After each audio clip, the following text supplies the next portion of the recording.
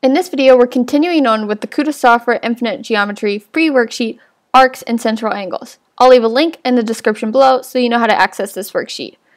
Now, in the previous video, our directions were to find the measure of the arc or central angle indicated, assuming that lines which appear to be diameters are actual diameters. We already completed numbers 9 and 10, so let's pick up with number 11. In number 11, we're to find the measure of the arc CFD. So first let's locate CFD. That arc starting at C, going around to F, and then continuing on to D.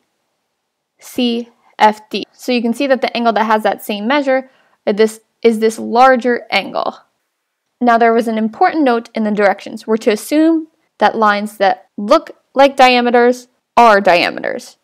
And a diameter essentially splits the circle in half. So it's safe to assume that CF is a diameter. Therefore, from C to F is 180 degrees. Since a total circle is 360 degrees and the diameter splits that in half, so CF, the measure of arc CF, is equal to 180 degrees. So the measure of arc CF will equal the measure of arc CB plus the measure of arc BF. BF is 135 and CF is 180. So 180 degrees equals the measure of arc CB plus the measure of arc BF, which is given to us as 135 degrees. So what I'm going to do is subtract 135 degrees from 180 to get the measure of CB. The measure of arc CB is going to be equal to 180 minus 135, which is 45 degrees. So now I have that this measure of arc CB is 45 degrees. Now you can see that I have another diameter that's given, and that's B to E. And that's also 180 degrees. The measure of that arc is 180 degrees. However, we're given that arc BF is 135 degrees. So 135 degrees plus the measure of this arc will equal 180. And we just did that math. That's going to be 45 degrees. So we have 45 degrees plus 135 degrees plus 45 degrees plus 81 degrees will equal the measure of arc CFD. So again, the measure of arc CFD The measure of arc CFD is going to equal the measure of arc CB plus arc BF plus arc FE plus ED, which we have numbers for each of those. So the measure of CFD, that arc, will equal 45 plus 135 plus 45 again plus 81. 45 degrees plus 135 degrees plus 45 degrees plus 81 degrees equals 306 degrees. So the measure of arc CFD is 306 degrees. Let's move on to number 12. In number 12, we're finding the measure of angle SPQ. So SPQ. And remember, we're going to be assuming that it's talking about the minor arc associated with that angle, or essentially the smaller angle. So that's going to be SUQ or STQ. Now we know that an entire circle adds up to 360 degrees. And we're given that angle SPT and TPU are congruent angles. So what I'm going to do is add up all the angles, knowing that these two are congruent. I can write them as variable, let's say x. So this entire circle will equal 154 degrees plus 60 degrees plus 2x plus 86, and that's equal to 360. So let's combine like terms. 154 plus 60 plus 86 equals 300 degrees. So 300 degrees plus 2x equals 360. So what I'll do, I'll subtract 300 degrees from both sides to get that 2x is equal to 60 degrees. Now normally, I would then divide by 2 to get the measure of each of these individual angles, which I can. However, I know that both of those are added to 86 degrees to get the measure of angle SPQ.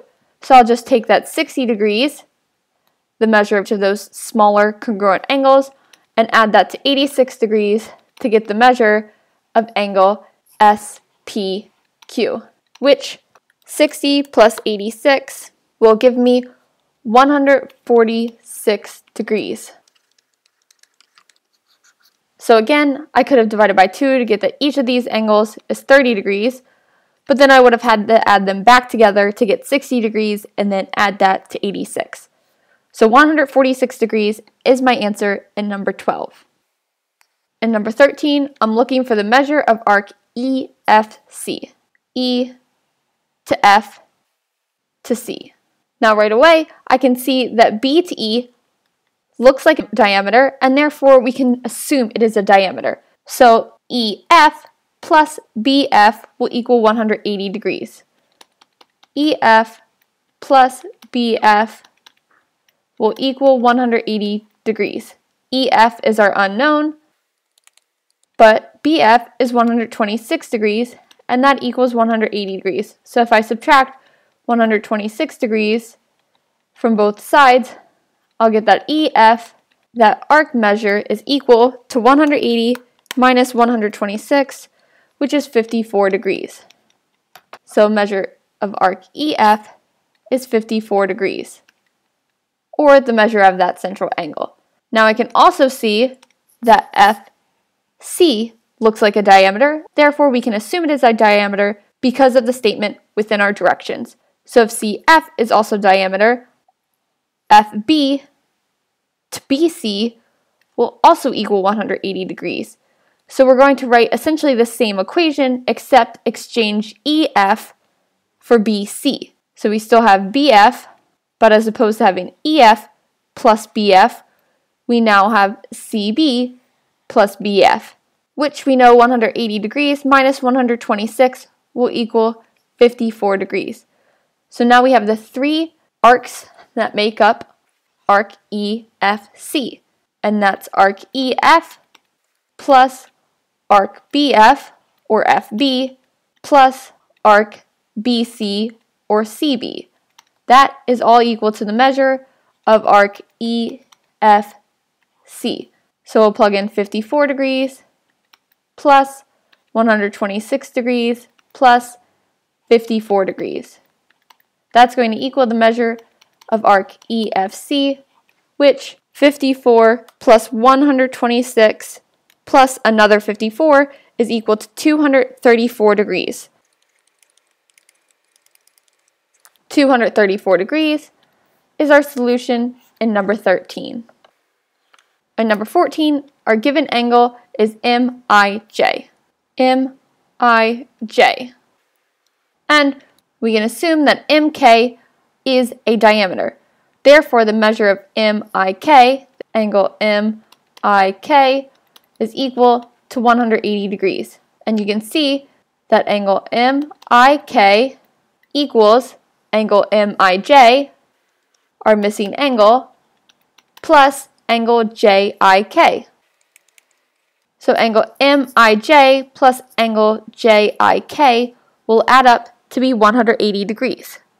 So 180 degrees is equal to our missing angle, angle MIJ, plus the known angle JIK, which is 55 degrees.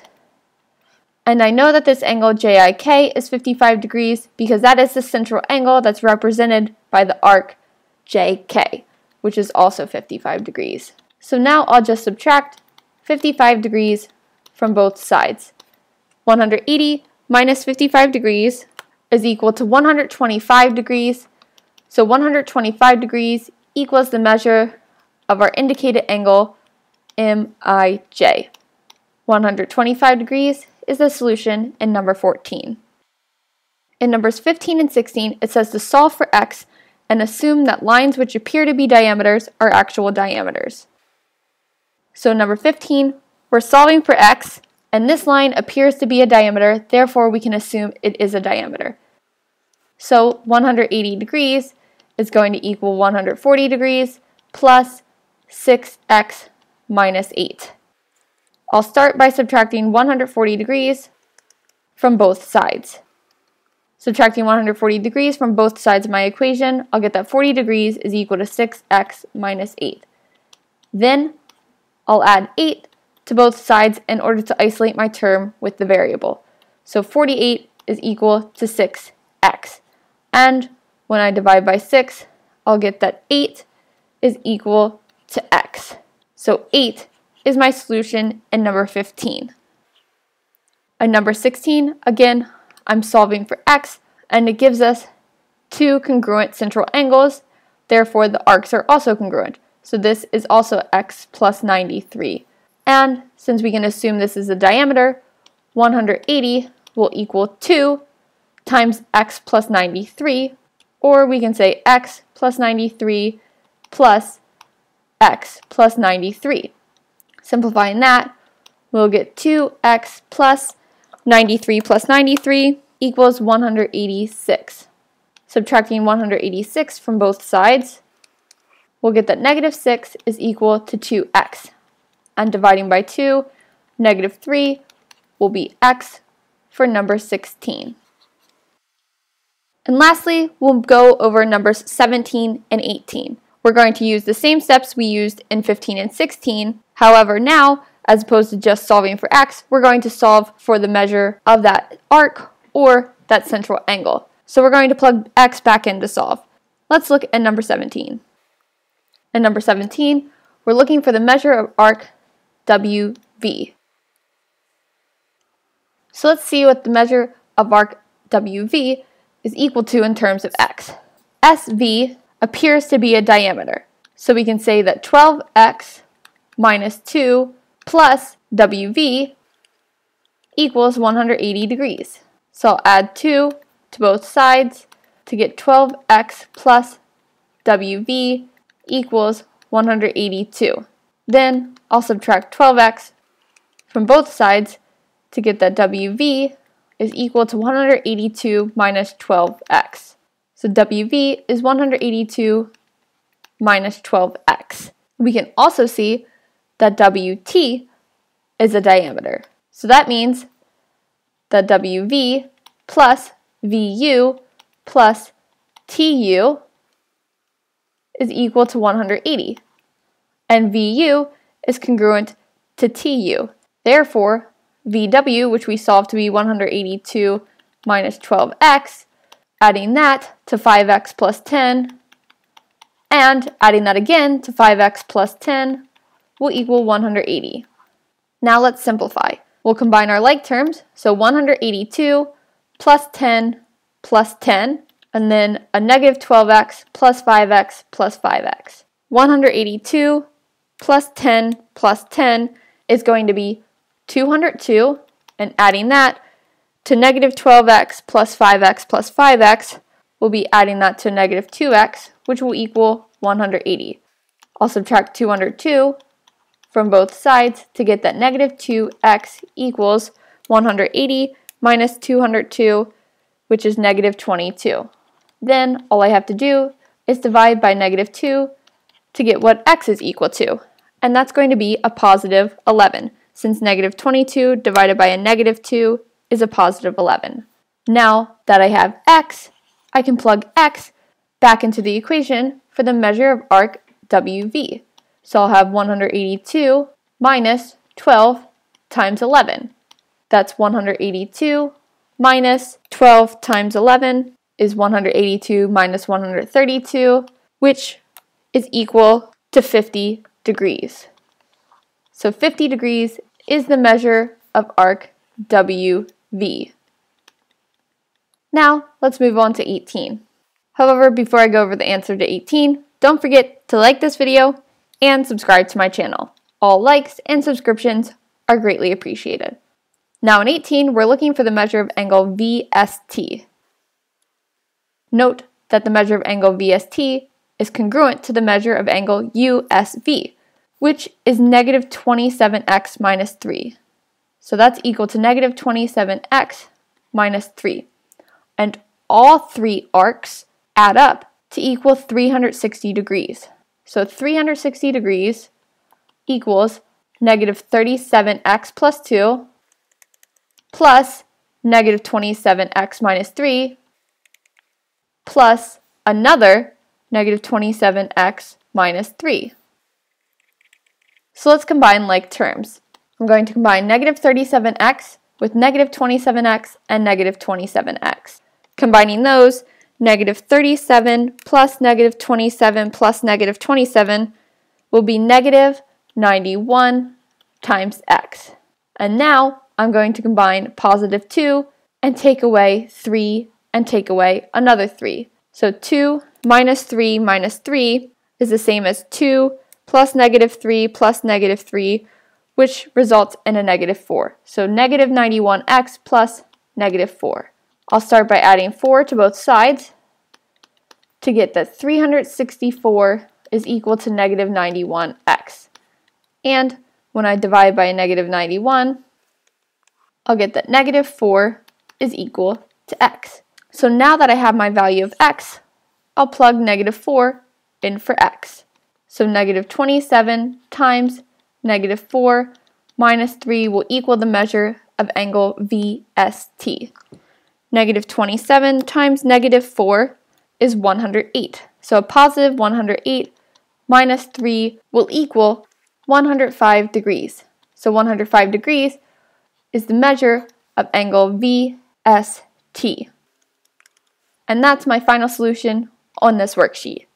If you have any questions, leave them in the comments below. Also, if you just want to write me a note, you can leave that in the comments below as well. And as always, like, subscribe, and share.